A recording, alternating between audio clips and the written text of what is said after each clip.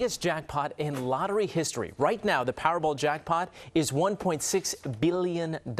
There's still a chance it will increase ahead of tonight's drawing. The chances of hitting the top prize are only 1 in 292 million.